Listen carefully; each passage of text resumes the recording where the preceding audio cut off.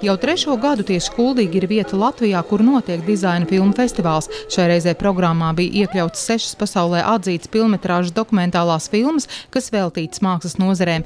Festivāla ideja aizgūta no Singapūras, kur tāds notiek jau piekto gadu. Tāpēc Latvijas programmai filmas tiek izvēlēts no Singapūras dizaina filmu festivāla veidotā saraksta.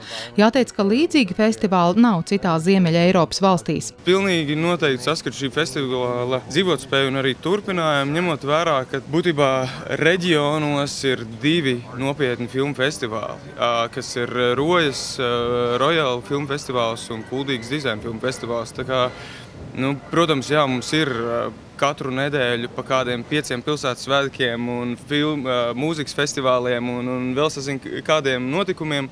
Bet ir tādā filmu festivālu mazajā kā, nišā piedāvājums ir salīdzinoši neliels. Kuldīga nav nejauši izvēlēta šim festivālam. Šobrīd Kuldīgas mākslinieku rezidents aktīvi strādā, lai 2018. gadā te atklātu inovatīvu 3D modelēšanas centru radošo ideju īstenošanai, sākot no glezniecības līdz dizainam un arhitektūrai. Mūsu mērķis ir izveidot Kuldīgā kvalitatīvu augstākās izglītības uh, instanci, kur varētu mācīties studenti no, no visurienes. Pēdējā laikā ir ļoti daudz diskusiju par to, kā ir pareizi, kā nav pareizi, vai mēs tiešām darām to, kā īstenībā tas ir jādara. Tad mēs cenšamies dotajā brīdī to maksimāli labo un visu to izglītības formu koncentrēt un izveidot šo modeli un piemērot viņu kuldīgai. Kultūras resursi ir svarīgs novada attīstībā, tā atzinusi Kuldīgas novada pašvaldība. Tāpat domāts, kā dabas un laika veidoto kultūru vēsturisko vidi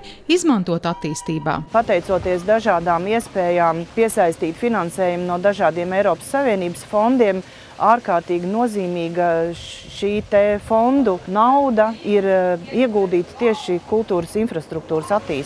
Tā tapis gan mākslas nams un mākslinieku rezidences galerija, gan pilsētas dārs ar brīvdabas kino, atjaunota muzeja ēka vēsturiskajā Bangerta villā, restaurācijas centrs un daudzas citas vietas, kurās rīkotie pasākumi piesaista interesantus ne tikai no Latvijas. Tas, kas noteikti ir tāda panākuma atslēga, tā ir sadarbība sadarbība šajā gadījumā starp dažādiem pasākumu rīkotājiem un starp uh, dažādiem festivāliem un dažādām organizācijām, kuras kultūras jomā strādā.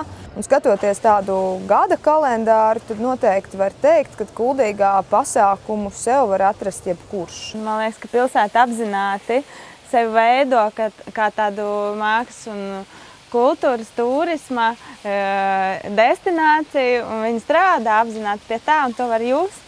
Viss tas atbalsts, ko mēs esam saņēmuši, kā vasaras skola, ir neatsverams. Tas pasākums noteikti ir kļuvis vienu līmeni augstāk mums pārnākot uz Kuldīgu.